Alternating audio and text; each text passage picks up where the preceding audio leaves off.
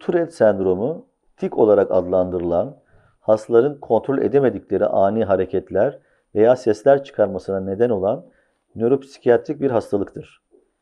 Tedavisi psikiyatri uzmanlarınca yapılmakla birlikte dirençli vakalarda Amerika ve Avrupa'da beyin pili yöntemi tikleri durdurmak için uzun yıllardır kullanılmaktadır.